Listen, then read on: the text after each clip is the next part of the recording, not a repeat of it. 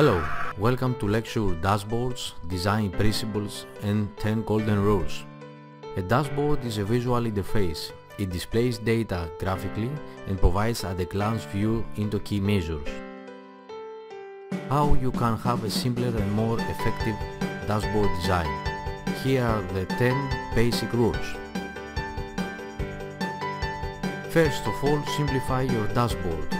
Don't include too much data or too much information in a report. Keep it simple.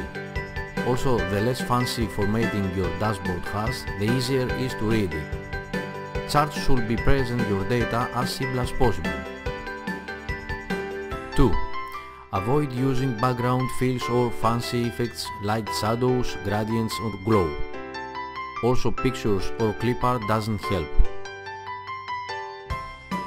3. Remove elements that don't contribute to the core message. Here are some examples. First, remove borders. Second, avoid data labels that are not necessary. Third, remove grid lines, vertical or horizontal. Fourth, remove axes that don't use. Fourth rule. Try to fit your dashboard and your data on one page. Maybe you can adjust column and row width or reduce white space. 5. Put your most important measures to the upper left side of Excel worksheet. Users pay attention to specific regions. 6. Use descriptive titles for each component. 7. Use effective format numbers. 8. Include a timestamp on your dashboard, monthly or yearly for example. 9.